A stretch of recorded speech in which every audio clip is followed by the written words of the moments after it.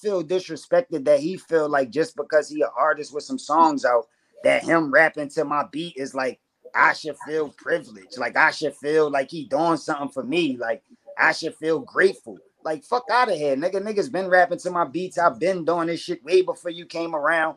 I don't give a fuck about you rapping to my beat. It's like either break bread or pay homage for real, nigga. Like yeah. pay homage for real.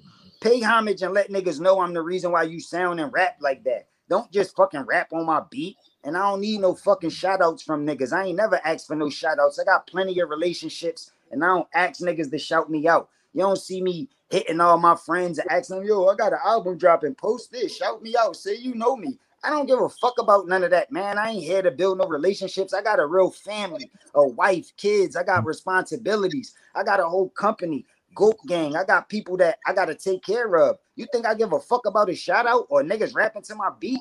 Nah, I give a fuck about niggas stealing my shit, running with my shit, not giving me the credit, and niggas not even like if I ain't post that, the majority of people that heard that freestyle wouldn't even knew he took my shit. The only people that really knew was my core audience, the fan base that know my raps and fuck with me. The average person ain't even know he was taking shit. They just thought they liked it. They mm-hmm. was giving it the thumbs up and thought he was killing it until they realized he was robbing shit. And that's why shit got to be brought to the light.